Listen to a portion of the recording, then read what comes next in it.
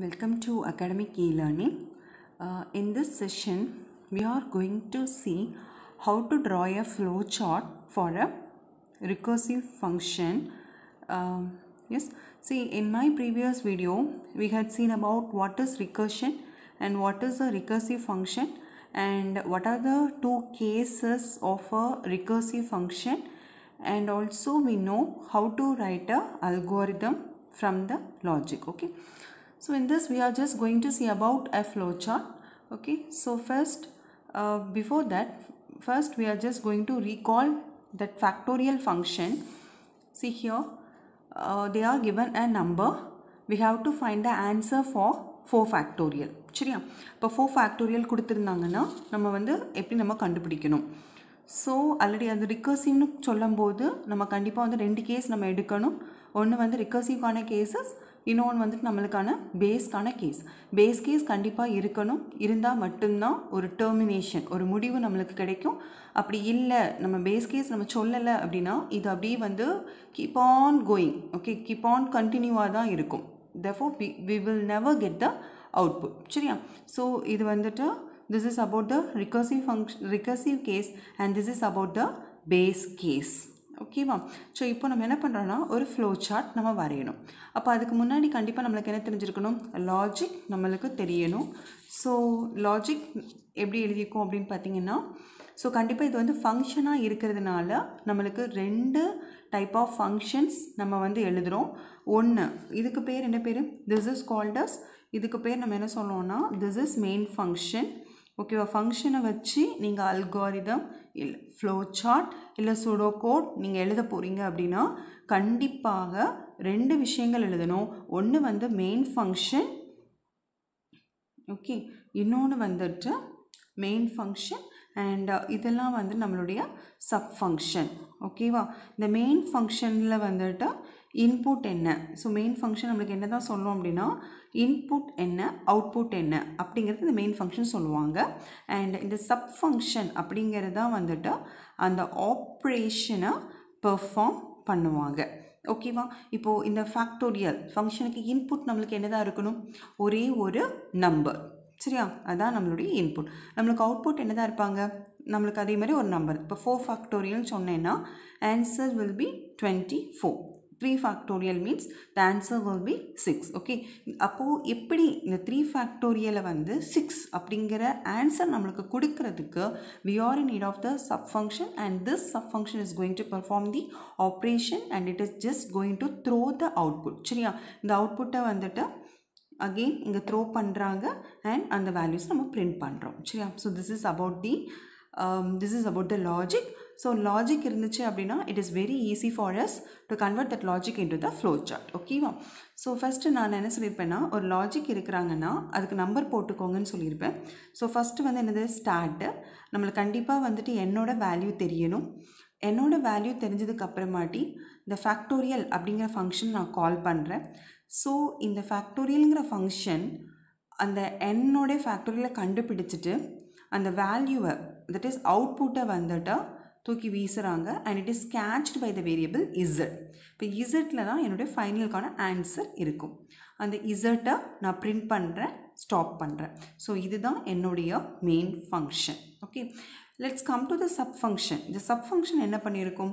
இங்கே ஃபஸ்ட்டு வந்துட்டு அந்த ஃபங்க்ஷனை மட்டும் நான் சொல்லியிருக்கிறேன். ஃபங்க்ஷனோட பேர் என்ன? ஃபேக்ட் ஓகேவா? இதில் நான் என்ன நம்பர் கொடு எந்த நம்பர் யூசர் கொடுக்குறாங்களோ அதை வந்து உள்ளே பாஸ் பண்ணுறேன் சரியா? சி ஹியர் இந்த என் அப்படிங்கிறதுக்கு பேர் வந்து நம்ம என்ன சொல்லலாம்னு பார்த்தீங்கன்னா பேராமீட்டர் அப்படின்னு நம்ம சொல்லலாம். சரியா? பேராமீட்டர் அப்படின்னு நம்ம சொல்லலாம். ஆர் ஆர்கியூமெண்ட் ஓகேவா? ரெண்டு பேர் இருக்குது. என்ன பேர்? ஒன் இஸ் பேராமீட்டர் ஒன்று பேராமீட்டர்னு சொல்லலாம். இல்லை நம்ம என்ன சொல்லலாம் ஆர்குமெண்ட்டுன்னு சொல்லலாம். இப்போ ஃபார் எக்ஸாம்பிள் ஒரு நம்பரை கொடுத்து நான் ட்ரேஸ் பண்ணுறேன் ஸோ இங்கே வந்துட்டு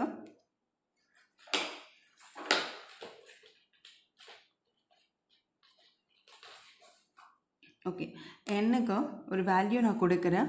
For example I'm just going to give three factorial சரியா? மூணு. அப்படின்னு நான் கொடுத்தேன்னா முதல்ல இங்கே என்ன வருவாங்க? ஃபேக்ட் ஆஃப் இங்கே வந்து த்ரீ சரியா? நேராக இங்கே த்ரீ வந்து பாஸ் ஆகும். மூணு. இப்போ மூணு வந்து ஈக்குவல் டு ஈக்குவல் டு ஜீரோவா இல்லை. த ஃபோர் எல்ஸுக்குள்ளே நம்ம வருவோம். இங்கே வந்தீங்கன்னா இது நடக்கும். ஸோ இது என்ன ரிட்டர்ன் பண்ணுவாங்க? Three into three into two factorial so again மேலே போகிறாங்க அப்போ அகெயின் டூ போகுது. So two equal to equal to ஜீரோவா அதுவும் கிடையாது. நேராக இங்கே வரும். இங்கே வரும்போது அது என்ன பண்ணும்? Two into one factorial so again மேலே போகிறோம். இங்கே ஒன்னுன்னு வராங்க. One equal to equal to ஜீரோவா கிடையாது. நேராக எல்ஸ்குள்ளே வரும். இங்கே என்ன பண்ணுவீங்க? One into zero factorial again மேலே போகும். என்னோட வேல்யூ ஜீரோ ஆகுறாங்க. இப்போ zero equal to equal to ஜீரோவா ஆமாம் கண்டிஷன் கரெக்ட் ஸோ இங்கே எனக்கு பேஸ் கேஸ் ரீச் பண்ணுறேன் you are getting the answer one so one இங்கே சப்ஸ்டியூட் பண்ணுறோம் அவ்வளோதான் இனிமேல் வந்துட்டு பேக் ட்ராக் பண்ணி நம்மளுக்கு ஆன்சர் கிடச்சிருவாங்க. ஸோ இந்த one is passed here so one into one is one one into two is two two into three is six so சிக்ஸை ரிட்டர்ன் பண்ணுங்கள் சரியா? அப்போ இது எதை த்ரோ பண்ணுதுன்னு பார்த்தீங்கன்னா சிக்ஸ் அப்படிங்கிறது நம்மளுக்கு த்ரோ ஆகுது. இங்கே சிக்ஸு த்ரோ ஆகுது. அந்த சிக்ஸு வந்து எனக்கு எங்கே ஸ்டோர் ஆகுறாங்கன்னா இசட்டில் ஸ்டோர் ஆகிருப்பாங்க இப்போ அந்த இசட்டை நான் பிரிண்ட் பண்ணுறேன் சரியா? அப்போ மூணுங்கிற நம்பர் நம்ம கொடுத்தோன்னா நம்மளுக்கு ஆறு அப்படிங்கிற ஆன்சர் கிடைக்கிறாங்க. சரியா? அப்போ நீங்கள் எந்த நம்பர் கொடுத்தாலும் சரி டென் கொடுத்தாலும் சரி ஃபைவ் கொடுத்தாலும் சரி டூ கொடுத்தாலும் சரி we will get the correct answer okay so this is the logic okay so நான் லாஜிக் இருக்குன்னா நம்ம ஈஸியாக நம்ம என்ன பண்ணிடலாம்? ஃப்ளோ சார்ட்டாக நம்ம வந்துட்டு கன்வெர்ட் பண்ணிடலாம். ஸோ ஃபஸ்ட்டு நான் என்ன பண்ணுறேன்னா இந்த இதுக்கானது இதுக்கானதை மட்டும் நான் வரைகிறேன் ஸோ ஃபஸ்ட்டு நம்ம வந்து எப்படி நம்ம ஃப்ளோ சார்ட் போடுவோம்? இந்த மெயின் ஃபங்க்ஷனுக்கான ஃப்ளோ சார்ட் ஓகேவா so first start so start நம்ம எப்போவுமே எப்படி நம்ம ரெப்ரசன்ட் பண்ணுவோம்?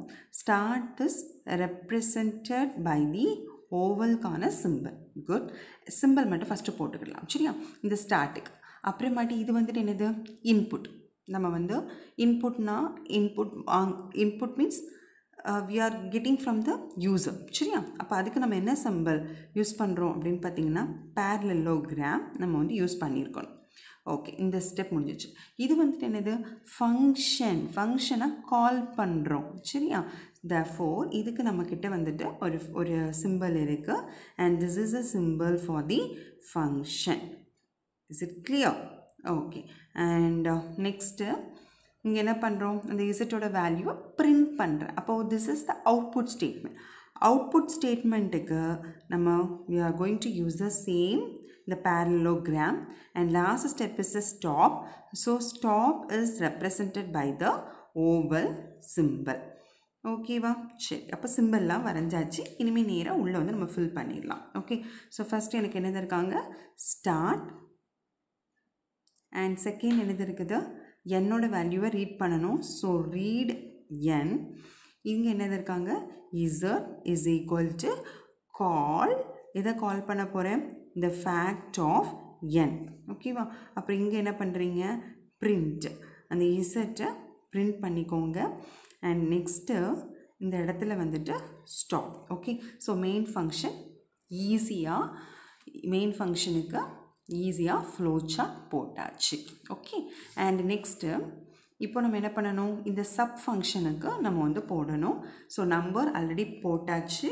ஸோ அப்போ it is very easy so first வந்து இந்த ஃபேக்ட் ஓகே அப்போ இதுதானே வந்து பிகினிங் ஓகே ஸோ பிகினிங் அப்படிங்கும்போது it is represented by the ஓவல்கான symbol okay it is represent by the oval symbol and next if இஃப்னா என்னது? This is a decision கரெக்டாக இஃப்ங்கிறது ஒரு condition கண்டிஷனை நம்மளுக்கு ரெப்ரசன்ட் பண்ணுறதுக்கு we are having the rhombus we are having the ராம்பஸ்க்கான symbol சரியா? Okay and next வந்து இங்கே என்ன பண்ணுங்க அங்கே ஒன்னை வந்து ரிட்டர்ன் பண்ணிக்கோங்க. இங்கே வந்து என்ன எழுதுகிறோம் என்ன வந்து equal to equal to zero so கரெக்டாக இருந்துச்சு அப்படின்னா நம்ம வந்துட்டு எங்கே போயிருக்கணும்?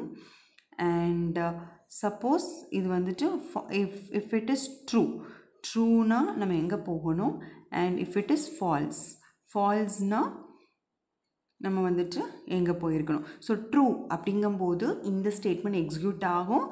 ஃபால்ஸ் இல்லை கிடையாது. என்னோட மதிப்பு ஜீரோ இல்லை அப்படின்னா the statement that is written within the else block will be executed சரியா? அப்போ எல்ஸுக்குள்ளே இங்கே வந்துடுவாங்க ஓகே அண்ட் uh, எதுவாக இருந்தாலும் சரி ஸ்டார்ட் போட்டிருக்கிறதுனால நான் கண்டிப்பாக ஸ்டாப் பண்ணியே ஆகணும்.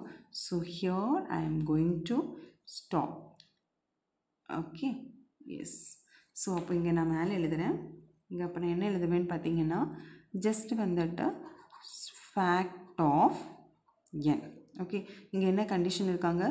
N equal to equal to zero ட்ரூவாக இருந்துச்சுன்னா நம்ம வந்து எதை ரிட்டர்ன் பண்ணணும்?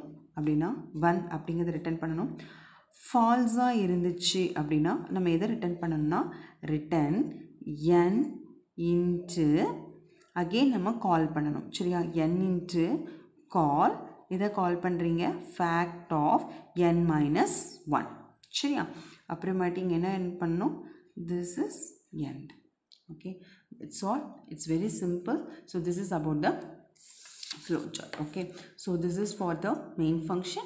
And this is for the sub function and this is about the flowchart for the factorial using recursive function okay and next come the pseudocode so pseudocode it's very easy pseudocode வந்துட்டு நம்ம கண்டிப்பாக வந்துட்டு என்ன என்ன ஞாபகம் வைக்கணும்னு பார்த்தீங்கன்னா pseudocode எழுத போகிறீங்க அப்படின்னா அல்காரிதம் மாதிரி நீங்கள் ஒன் டூ த்ரீ இந்த ஸ்டெப் போட தேவை கிடையாது.